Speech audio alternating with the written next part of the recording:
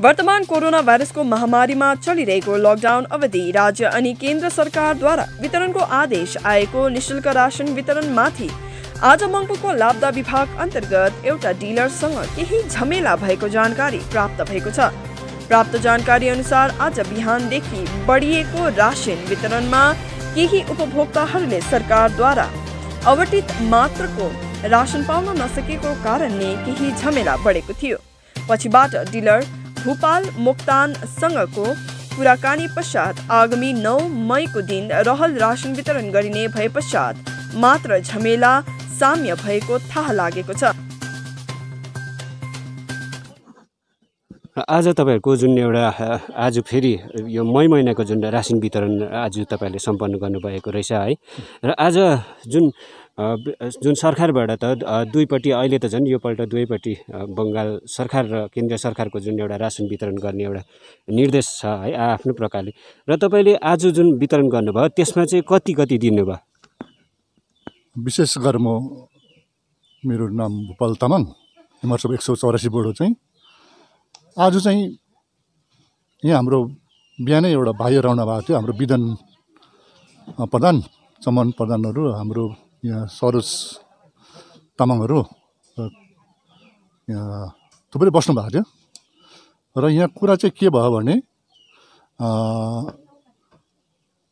पाँच छ किलो चामल दुई किलो आँटा गरेर दिँदैछौँ र अ, बारकोडमा र ग्रिन कार्ड नहुने ग्रिन कार्डमा पनि नाम नआउने र कार्ड ट्रान्सफर नहुनेहरूलाई पनि दिँदैछौँ भन्दाखेरि अन्त उहाँले नदिनु भन्नुभयो। नदिनु भन्दाखेरि अहिले मैले दिइसकेको थिएँ। र दिँदाखेरि उहाँले भन्नुभयो योपालि ठिकै छ यसमा एडजस्ट गरेर पाँच किलो दुई किलो गरेर दिनुहोस्। अर्को पालि नौ तारिक चाहिँ मेरो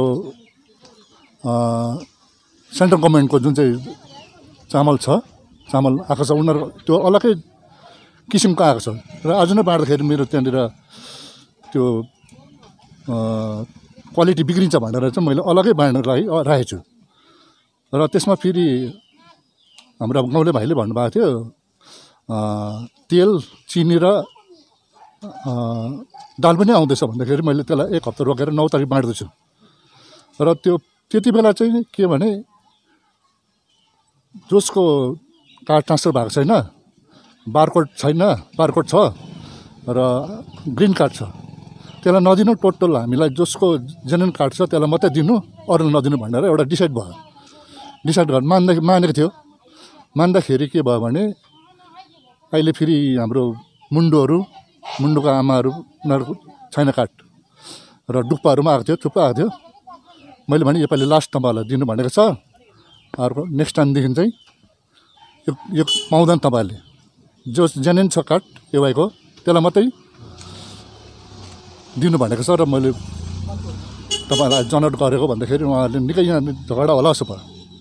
हामीलाई चाहिँ को लिन्छ? हामीलाई पनि त लकडाउन भएको बेलामा हामी पनि त खानुपर्छ हाम्रो पनि त पेट छ भन्ने उहाँले निकै ममाथि डिस्कस गरेर मैले मैले भने उहाँहरू बिहानै हाम्रो अब बिरेन प्रधान हुनुहुन्थ्यो उहाँसँग त्यो कुरा भएर सबैसँग सल्लाह गरेर चाहिँ एउटा डिसाइड निस्केको छ। तर तपाईँहरूले समाधान निकाल्छ निकालेर फेरि अर्को पालि अ, पाँच किलो चामलमा चार किलो चामल अरूलाई पनि सबलाई मिलाएर दिनुहोस् भनेर एउटा समाधान आयो भने म त्यसमा त्यसलाई मलाई रेखर दिनु पऱ्यो कन्सिडर गर्न सक्छु भनेर भन्दाखेरि तिनीहरू मुन्डोहरू यहाँहरू डुक्पाहरू सल्लाह गर्छु भनेको छ। अनि त्यो कारणले गर्दाखेरि मेरो नौ तारिक चाहिँ वाइट कार्डलाई ल सेन्ट्रल गभर्मेन्टको जुन चाहिँ छ त्यसलाई दिँदैछु। सोह्र तारिक चाहिँ आज जुन चाहिँ आँटा रहेको छ त्यसलाई फेरि सोह्र तारिक म दिँदैछु।